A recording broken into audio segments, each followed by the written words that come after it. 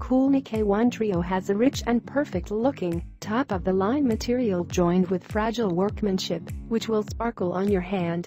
K1 Trio goes for a more forceful approach by pushing the upper casing to close bezel S89 presents to you a visual devour.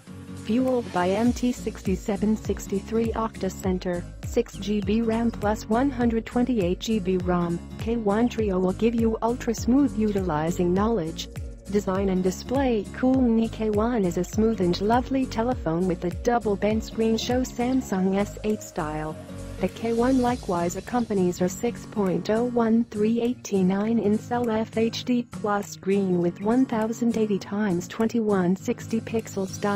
The handset is surely fundamentally a K1 with a cosmetic touch-up at the front, all the more particularly the show now covers the best piece of the telephone, changing it into a tri-bezel-less gadget, in this way the Trio moniker Koolnee at that point additionally moved the unique mark scanner to the front for simpler taking care of, as indicated by clients, and it was included Face ID innovation, and also the helpful split-screen highlight processor and RAM incredible performance powered by MT6763 octa-center processor timed at 2.0 GHz combined with enormous 6GB RAM, K1 Trio gives smooth and premium execution while 25% more power proficient.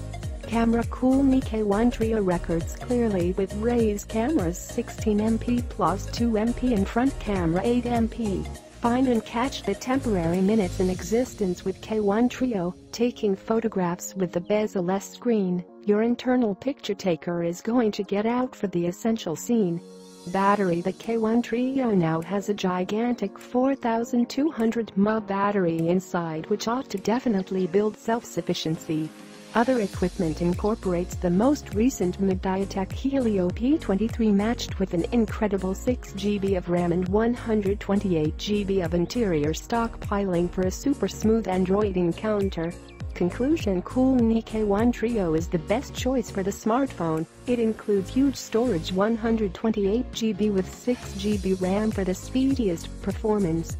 It is easily available on TomTop with the price of $259.99.